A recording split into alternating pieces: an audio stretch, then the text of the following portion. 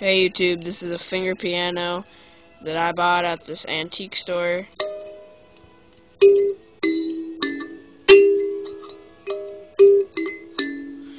Makes pretty cool noises. Each one has a different noise. If you put it on um, different items, then it'll make different sounds, deeper, um, whatever. Anyway, it's hand painted, handcrafted, handmade, everything. It's all handmade. It's made out of wood, nice wood. And yeah, it's a pretty good handmade item. That's all for today, YouTube. See you later.